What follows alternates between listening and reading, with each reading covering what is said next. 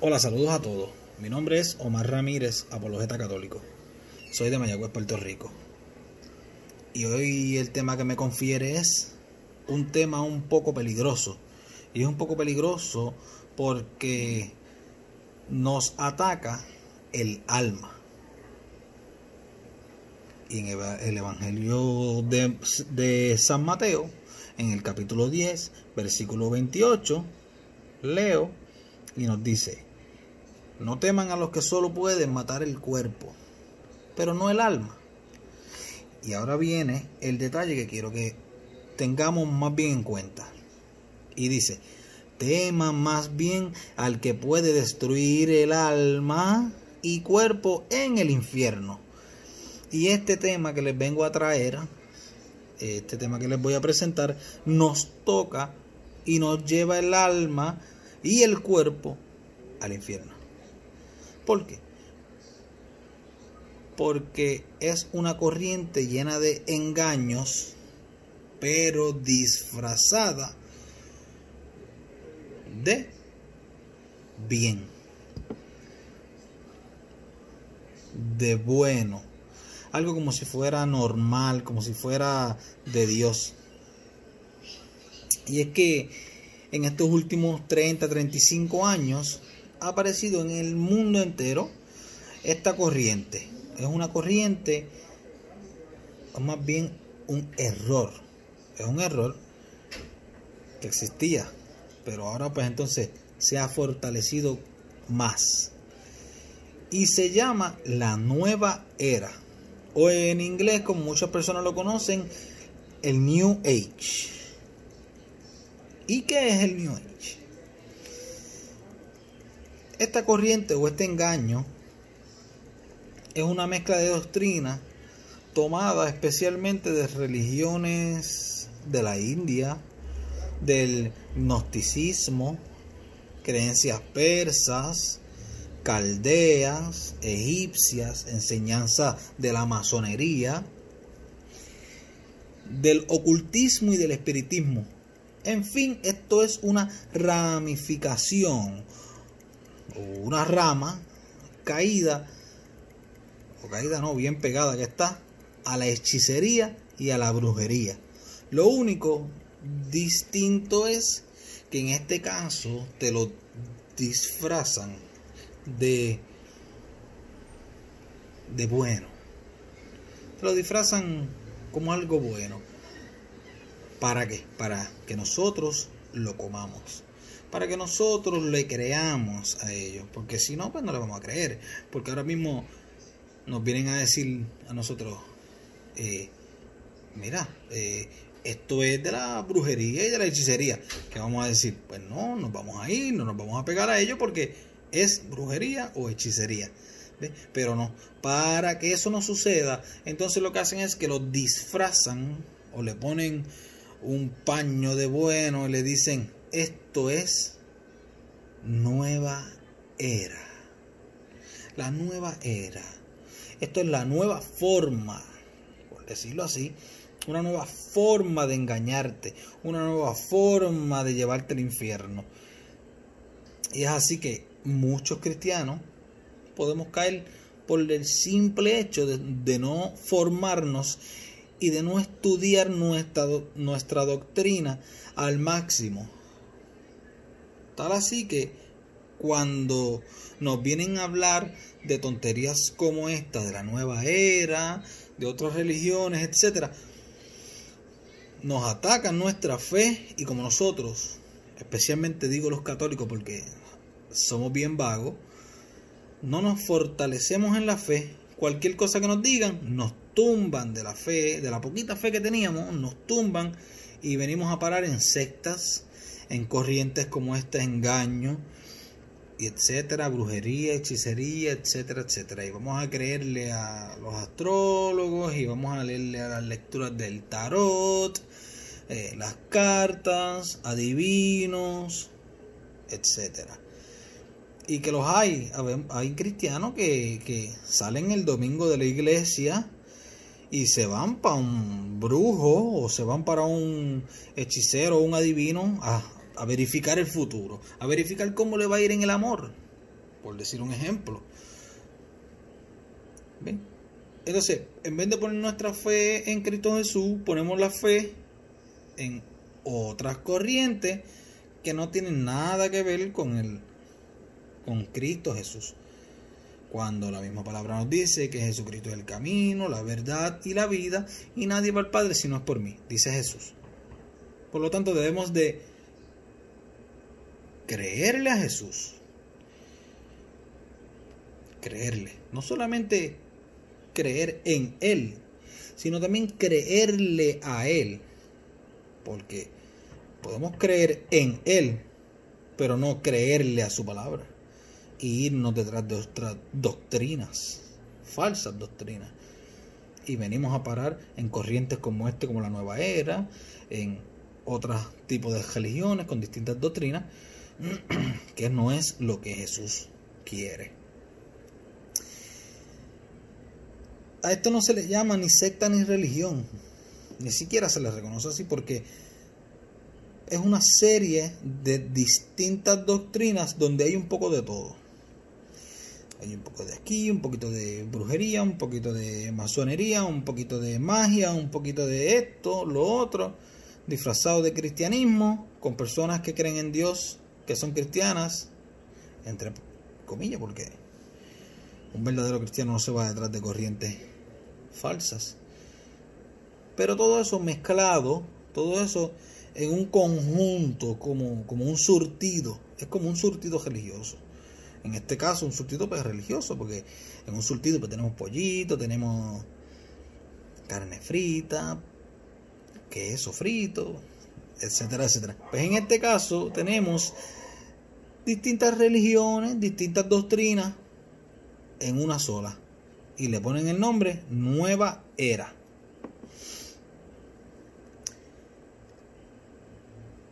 inclusive para atraparnos más o captar más nuestra atención, tienen gente filosófica, científicos. Entonces nosotros decimos como que, ah, wow, mira, es un científico que lo dice, es un filósofo, wow. Porque lo diga él no quiere decir que está correcto, no quiere decir que está bien. Pero más sin embargo nosotros al pensar que es un científico, que es un filósofo, que es un estudioso, que lleva 30 años estudiando, etc., pues nosotros tendemos a caer en esos engaños, creyéndonos que estas personas están en lo correcto. Y no es así, no es así.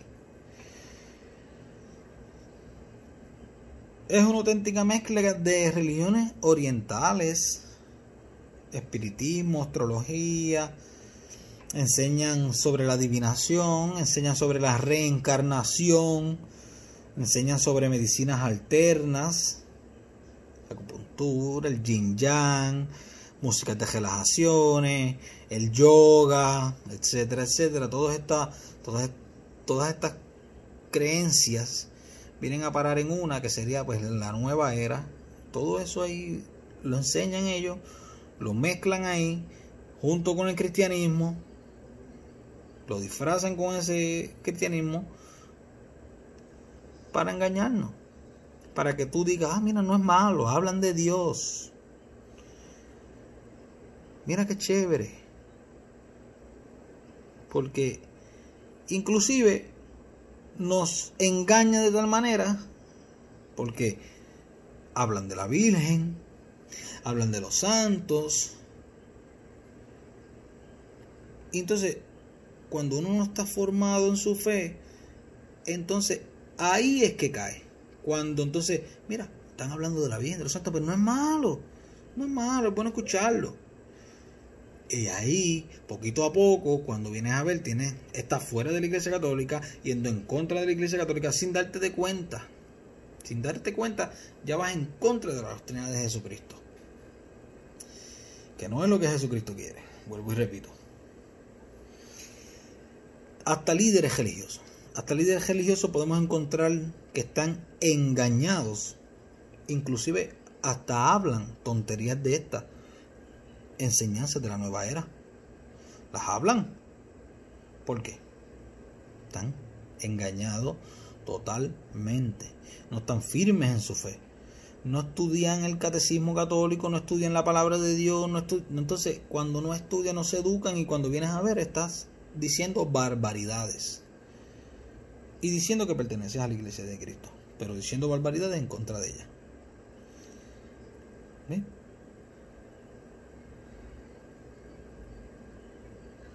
¿Qué enseña esta nueva era? Esta nueva enseña, esta nueva era enseña que al llegar la nueva era de Acuario, los cambios zodiacales van a producir cambios psicológicos y religiosos en el mundo. En el mundo van a producir todos estos cambios. ¿Qué afirman? Que está terminando la era de Pisces y va a empezar la era de Acuario. Y hacen unas cuentas ahí medias locas. Pero que, como uno las ve y dice, mira, está en la historia, esto, lo otro, pues tienes razón, pero son unas cuentas medias alteradas. Que en el año 4000 a.C. el Sol pasó por la constelación de Taurus, que significa toro, y que en esa era dominó la religión de los persas y los egipcios, y que tenían como emblema, divino a un toro precisamente. ¿Ves? Y tú a imaginarte, no, es verdad, es verdad, eso está en la historia. Ah, pues mira, puede ser que tenga razón. Y así mismo es que nos engaña. Dicen que en el año 2000 y pico antes de Cristo el Sol pasó por la constelación de Aries, que significa cordero o cabrito, y que en ese tiempo dominó la religión de Moisés, que tenían como sacrificio principal un cabrito, un cabrito o un cordero. Y tú te pones a pensar, y justamente sí, nos están engañando, nos están engañando. Como cada era dura 2000 años, dicen ellos que 2000 años después, al pasar el sol por la constelación de Pisces, que significa pez, empezó la era de Cristo, o sea, la religión cristiana. Porque pez en griego se escribe I-C-H-T-U-S. Esas son las iniciales de esta frase. Jesús Cristo Dios Hijo Salvador. Y el emblema, mucha gente lo ha visto por ahí, del, pescadito que le estoy hablando, del pez o piscis, es este que tengo aquí. Es un pez. Ese emblema lo utilizaron los primeros cristianos, los primeros cristianos, 300 eh, años antes de, de, de Constantino, por ahí más o menos en esa época, porque como había la persecución, pues para que ellos no fueran liquidados, ¿qué hacían? Cuando se encontraban con otra persona, le dibujaban un arco del pez. Si la otra persona le respondía con, el, con la otra parte del arco, dibujando así un pez, se conocían así los cristianos. O en la mano, cuando se saludaban, se lo hacían. ¿Por qué no podían decir, mira, yo soy cristiano? ¿O tú eres cristiano? No, no se podía decir por qué, porque les picaban la cabeza. Los mataban por la persecución que había. Por eso ellos cogieron y empezaron a tapar, ¿verdad? Por lo menos en ese tiempo, a disfrazarse un poco y decir como que, pues mira, vamos a tener estas señales de conocer a los cristianos, etcétera, etcétera. Y con el pez, pues ese fue el primer emblema o primer signo de los cristianos. Después vino, después de Constantino, entonces vino la cruz, etcétera. Ya eso es historia, otro tema. ellos terminan afirmando que al llegar la era de Acuario, que es la que viene ahora, ¿verdad? Supuestamente, la, eh, la religión del mundo será un verdadero acuario. Y un verdadero acuario, muchos hemos visto que el, el acuario tú puedes meter peces de, de, todo tipo de clases, etcétera, ¿verdad que sí? Pues eso mismo, pero en el ámbito religioso, esto sería una mezcla de todas las religiones de la tierra. Un ejemplo, las de Oriente, las de África, Oceanía, más el cristianismo, todo eso unido como si fuera un sancocho religioso. Hablando religiosamente, ¿verdad? Un sancocho religioso sería. mezclado de todas las religiones. Un poquito de aquí, un poquito de allá, un poquito de aquí. ¿Para qué? Para engañarnos, para engañarnos. Porque ellos tienen un, eso se llama un, refrán muy común, que es, que no lo dicen, pero es una realidad, es el relativismo religioso. Ellos dicen que todo es lo mismo. Eso no importa estar allá que acá. Eso es lo mismo. Y muchas, muchas religiones, muchas sectas o los mismos protestantes dicen lo mismo. Es lo mismo estar allá que acá. Adoramos un mismo Dios, como me dijeron a mí. Adoramos un mismo Dios. Pero entonces te cogen, te visitan en tu casa, a ti católico que estás que no estás firme en tu fe, no estás educado, no estás preparado. Te dicen, los católicos adoran imágenes porque las besan. Los católicos adoran imágenes porque las tocan. ¿Mm? Y tú, y tú pegas a titubear, a tambalear en la fe. Y vienen y te sacan Éxodo 20, 4, pa. Y te lo escupan en la cara. Y cuando vienes a ver, ya te tumbaron las piernas. Te tumbaron de, tu fe, de la única fe que Jesucristo fundó, la, la iglesia católica. Y cuando vienes a ver, vienes a parar donde no tenías que irte. ¿Por qué? Porque te engañan por no prepararte. Y lo mismo, estas corrientes así engañosas, como esta nueva era, nos viene a engañar con su relativismo religioso. Por eso la Biblia dice que seamos astutos como serpientes y mansos como paloma. ¿Para qué esa astucia? No para engañar.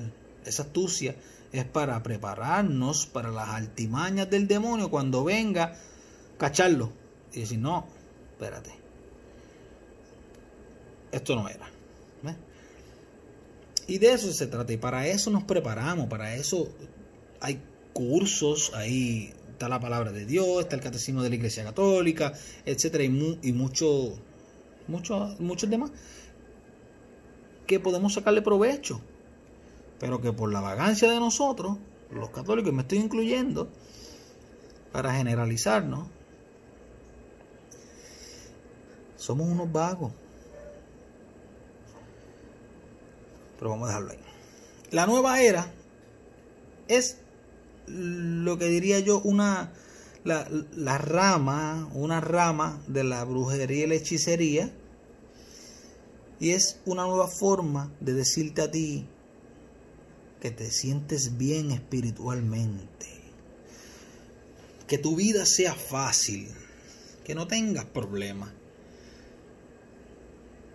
que no pases odiseas, que te relajes, que use, que use tus, tus energías internas, los chakras, esas energías que nosotros tenemos.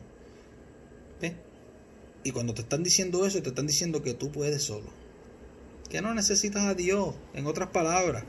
Que no necesitas de Jesús en tu vida. Cuando la misma Biblia dice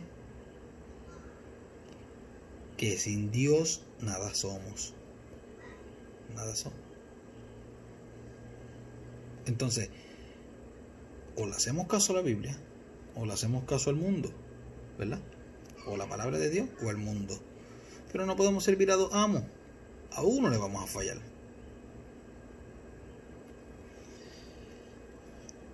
Esta mezcla de todo te puede dejar para que tú te sientas bien, que sientas paz. Y te dicen, ejemplo, ¿peleas en tu casa? Sí, pues mira, cómprate este incienso de, fruta, de olor a fruta, lo paseas por tu casa encendido, riegas todo el humito, que se riegue solo la fruta rico, relajante, y de paso, a la figura de la Virgen María que tú tienes, se lo pones en el brazo y le rezas un Padre Nuestro y un Ave María. Para que tú veas que esas malas vibras se van y entran buenas vibras. Y tú dices, ah, mira, qué chévere, es bueno. Es bueno porque me está diciendo que se lo ponga la Virgen, que le un Padre Nuestro. No, es un engaño. Y es un engaño porque yo estaba escuchando en la radio, creo que era un, miércoles y precisamente iba a hablar de este tema, era un, miércoles como a eso de las 9 de la mañana, eh, puse la radio y justamente estaba hablando una señora que estaba leyendo las cartas. Y la gente llamaba bien ingenua y le decía, para el amor. Y ella ya bregando con las cartas le decía, bueno, hay alguien detrás de ti que le interesas. Y cuando le terminaba de decir su, su visión o qué sé yo, le decía, Dios te bendiga. Como que no, no va, con eso no va, porque esas doctrinas están condenadas en la Biblia. Que las vamos a leer, las vamos a, te voy a dar el texto para que para que veas lo contrario que está en la Biblia. ¿Ves? Incluso Walter Mercado, que muchos lo conocemos, un ícono aquí boricua también. ¿Qué decía? Que Dios te bendiga y te dé mucho, mucho amor. ¿Ves? Mezclando a Dios con lo pagano para que tú caigas y mira, no los comamos. Y cuando vienes a ver, al otro día te levantas y dices, espérate, déjame ver el periódico, a ver qué me dice los números de suerte allá en, a ver qué me dice Aries, eh, Leo. Y vas a ir a leer el periódico a ver qué te dice, a ver cómo vas a pasar el día. Y lo mismo esta gente. Tienen programas de televisión y te dicen, mira, para leerte el futuro, si tú quieres que te lea el futuro, envíame 200 a mi cuenta de ATH móvil y te leo el futuro de mañana. Y si mandas 100 pesitos más, te leo el de pasado mañana. Entonces, como hay personas ingenuas, vienen y le envían los 200 pesos. Le envían 400 para que le diga el futuro de la semana.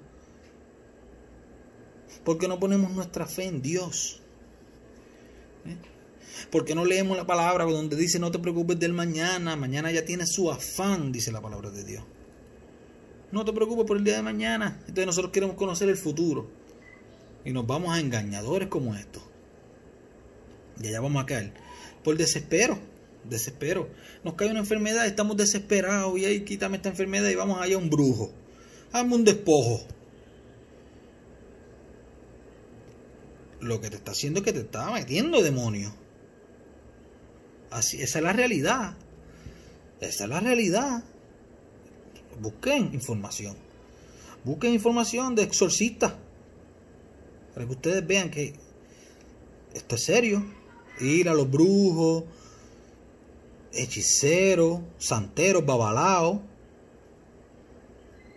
Y como estaba diciendo, te dicen prende un incienso Porque ya no es lo de antes. Lo de antes era un tabaco.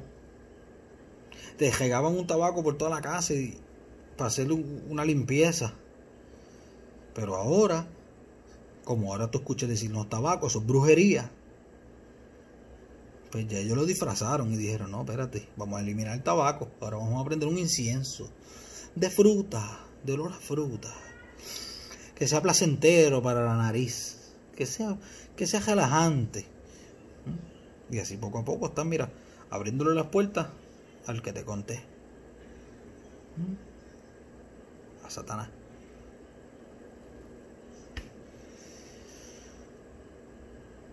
Y caemos muy fácil. Caemos. Caemos muy fácil porque otra, otro detalle es que el diablo se conoce la Biblia de rabo a cabo. El diablo se conoce la Biblia. Así en las tentaciones de Jesús, eh, allá cuando fue a tentar a Jesús en el desierto, no le dijo, mira, está escrito, que si tú te tiras de ese edificio, los ángeles, Dios va a mandar sus ángeles que te van a proteger. ¿Y qué le respondió Jesús? También está escrito, no tentarás al Señor tu Dios. Con la misma palabra. Por eso es que cuando viene, viene Satanás y se te presenta con el pecado, con la mentira, no se te presenta feo. No se te presenta, Satanás no viene con el tridente, ni con el jabo, ni con los cuernos, y te dice, mira, yo soy Satanás, yo vengo a engañarte y a llevarte conmigo al infierno. No, no viene así. Al contrario, viene con corbata. manga larga, bien vestidito, con unos espejuelos, bien peinadito, inclusive con la Biblia metida debajo del sobaco. Y te dice, vengo a compartir la palabra de Dios. Y la comparte como Satanás, transversadamente, para engañarte. Con la misma palabra como hizo Satanás, con Jesús, con la misma palabra quiso engañarlo. Pero nosotros tenemos que hacer como hizo Jesús. Jesús qué hizo? Le respondió con la misma palabra. Pues nosotros debemos de educarnos, de ponernos a estudiar, sacarle el polvo a esas Biblias que tenemos en la casa, pasarle las páginas al Salmo 23, que la tenemos ahí al lado de la cama con el Salmo 23 para que me proteja. Mira, ponte a leerla. Prepárate para que cuando estas corrientes, así como la nueva era, otras religiones, etcétera, vengan a engañarte, ya tú estés preparado y no te engañen. No vas a caer en el engaño. Y vamos a dejarle la mentira a Satanás cuando venga con sus engaños. Como hizo Eva allá en Génesis, cuando Dios le dijo, cuando el perdón, el demonio le dice, con que Dios te dijo que no comieras de ningún árbol de aquí. Y Eva hizo, espérate, cachó la mentira y dijo, no, dijo que de todo sí, menos de ese que está ahí.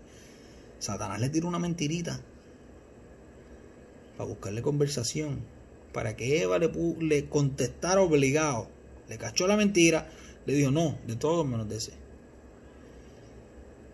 ¿Eh? Y así debemos hacer nosotros, prepararnos para que cuando Satanás venga, ¡pop! agajarle la mentira y ¡fua! para afuera. No permitir que el diablo nos engañe. Y acuérdense que no va a venir con tridente ni cuerno, va a venir con corbata y bien peinadito. La nueva era te dice, ¿qué sientes? Odio. Pues mira, ponte la musiquita instrumental esa y ponte a hacer unas posiciones de yoga. ¿Mm? Desesperación. Mira, pues echa con estas plantitas, josía el, la casa con agua o etcétera. Para que tú veas que todo eso se te va a ir. Que me echaron mal de ojo, que me maldijeron.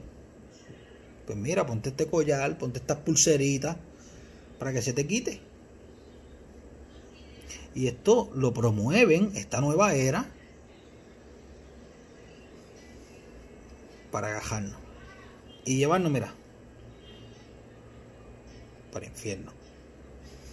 Inclusive le dicen, tacho, yo siento como un dolor en la espalda, un peso un peso inmenso.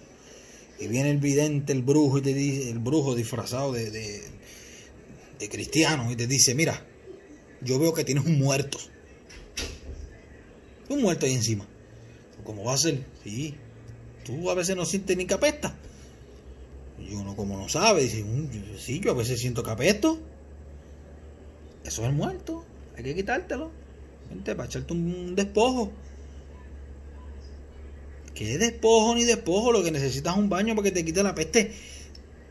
Y entonces caemos en el engaño por la desesperación que tenemos nosotros de que, ah, sí, tengo esto, tengo, tengo este problema, quiero un matrimonio, quiero un noviazgo, quiero cosas materiales, quiero dinero. Cuando vienes a ver, te buscas otras corrientes que son demoníacas.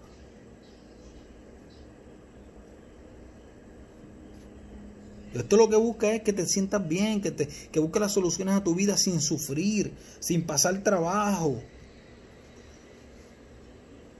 Cuando Jesús mismo dice en su palabra, el que quiera seguirme, tome su cruz y sígame.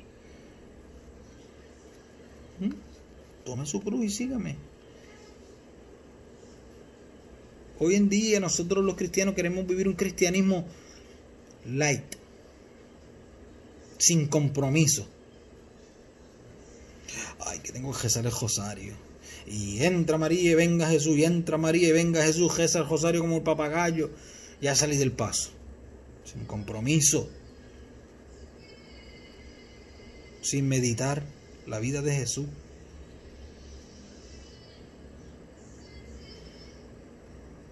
Y cuando vienes a ver, en vez de acercarte, lo que estás es alejándote. Un cristianismo light. Haciendo lo que tú quieres, cuando lo quieres. Que no debe ser así.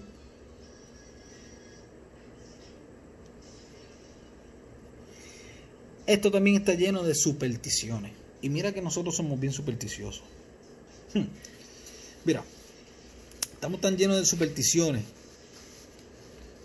que te preguntan, mira, ¿y tú has chocado alguna vez?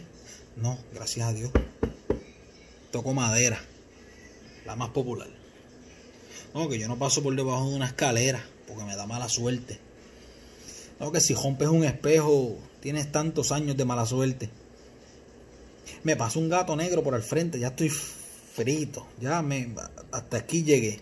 Algo malo me va a pasar.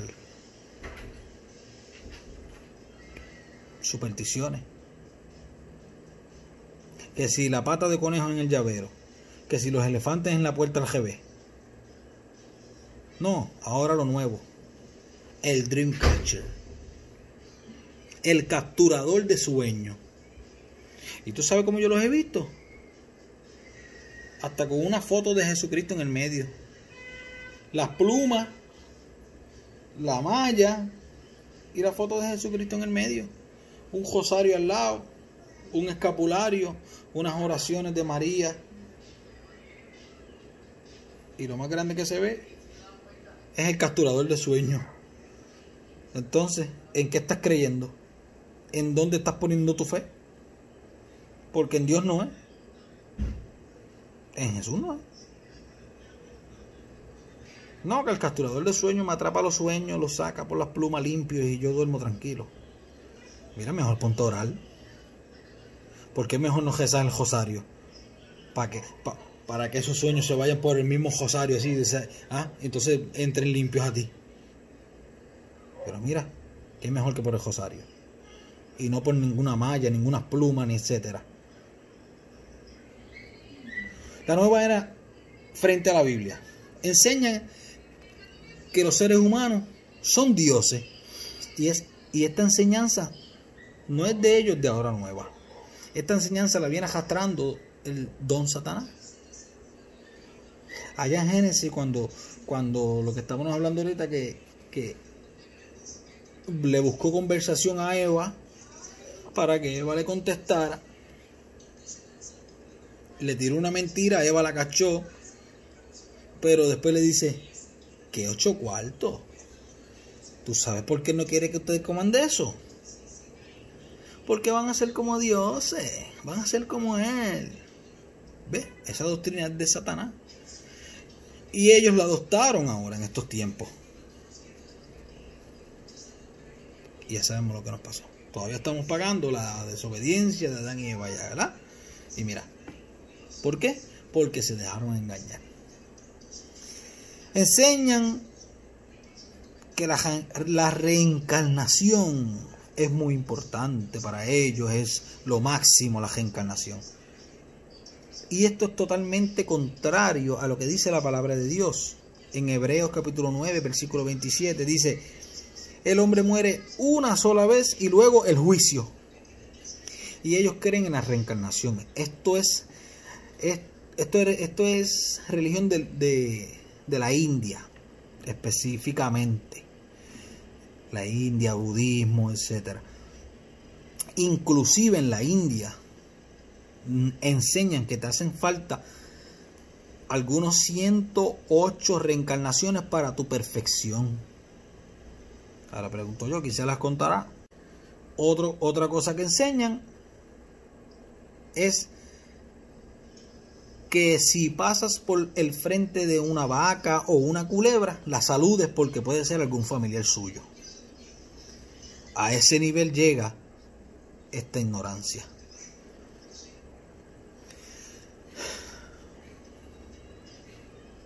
Enseñan también sobre el espiritismo. Y la Biblia es muy clara al condenar, esto a quienes practican esto de consultar los muertos, etcétera, como el espiritismo en Deuteronomio capítulo 18, 9, 14, Isaías 8, 19, 22.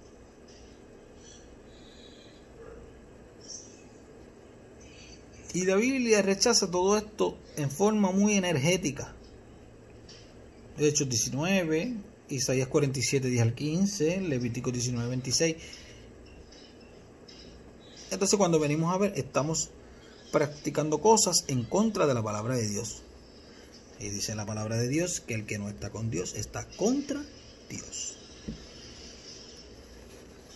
Así que, querido hermano, yo le voy a dar un consejo. No se deje engañar por ninguna de estas corrientes, por ninguna secta o por ninguna otra corriente que venga a tratar de enseñarle otra doctrina distinta a la doctrina desde hace dos mil años. Porque incluso la misma Biblia dice que si aún a un ángel del cielo viene, o uno de nosotros, dice San Pablo, uno de nosotros o un ángel del cielo viene con otra doctrina distinta a la que han aprendido, no lo recibas en casa, sea anatema, o sea, maldito.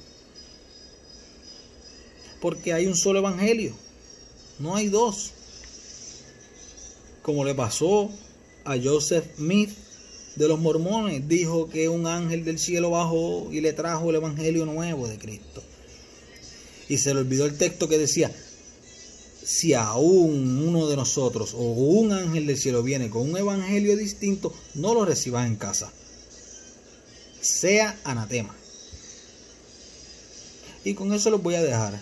Y hasta aquí el tema de la nueva era hay que estar bien pendientes, seamos astutos como serpientes y mansos como palomas, eduquémonos, busquemos formarnos para que no nos engañen ninguna secta, corriente, etcétera, nadie que no nos venga a engañar, a traernos mentiras con otro evangelio, transversando la Biblia como hace Satanás. Así que Dios me les bendiga y que tengan un bonito día.